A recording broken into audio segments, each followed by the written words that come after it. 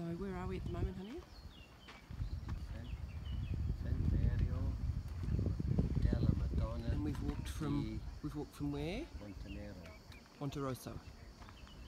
Well, Oh, Levanto across there, then to Monterosso, then to Monterosso to Vernazza, and then from Vernazza to Corniglia, Cor- on the cliff here, Corniglia, then to Manarola, which is around the back around the back there, and then we went via. Do you think that's That's Velastra. Valastra Went here, down Manarola, and which I then think you can see on the cliff peak. See oh there the see, yeah, That's the back of Manarola.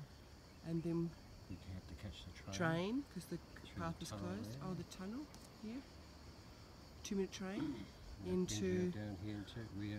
Rio Maggiore. Rio Maggiore, where we stayed last night, and we've walked all the way up here. to the sanctuary to the sanctuary. of the Madonna. Bellissimo? And we're heading down to Porto Venere. See. Porto